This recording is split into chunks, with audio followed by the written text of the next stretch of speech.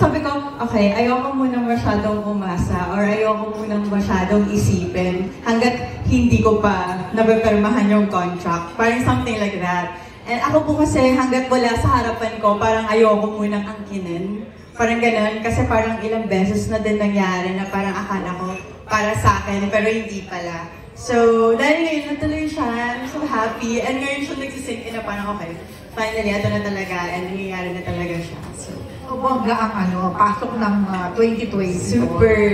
Opo, as in, effective po pala yung maglalagay ka ng 50 pesos sa likod ng phone mo nung New Year. Kasi ginawa ko po yun.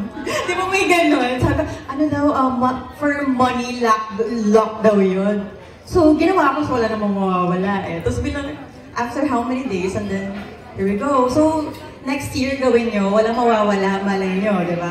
Pesos daw, i-fold nyo lang into like three folds and nalalagay nyo sa phone nyo. And then, tada!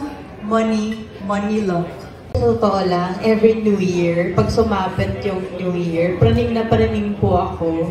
Kasi bago pa mag-end yung year, mga horoscope, mga feng shui, basa ko ng basa. Yung, hindi ko po alam, parang, parang interesting siya for me. And para sa akin, parang, um, walang masama talagang maniwala. And kung gagawin ko man siya, why not?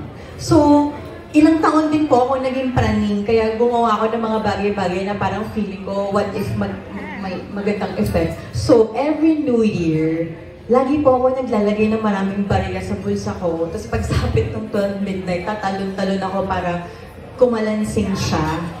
Kasi parang yun daw yung makaka-attract ng money and makakapagtaboy ng mga ba- bad luck, mga ganyan. So, medyo yun po, lagi kong ginagawa yun. And um, ito nga, this year lang kasi kumalat sa TikTok and may mga nakita ako ng mga kakilala ko na parang uh, gagaw, parang gagawin nila, parang may mga posts sila about doon na hindi naman like ko post kung hindi nila gagawin or hindi sila naniniwala. So, sabi ko, okay, sige nga, gawin ko nga. Tapos parang in-encourage ko pa nga yung ibang uh, kasama ko nun, maglagay ng 50 pesos kasi ganito ganyan daw, nakita ko sa ganyan, wala namang mawawala. So, naglagay ako. Eh, ako lang. ako lang yung naglagay sa lahat ng mga pinagsabihan ko. So, ayun. Ikaw ang nagwagi. Ako ang nagwagi. Dahil ako lang ang gumawa. Salamat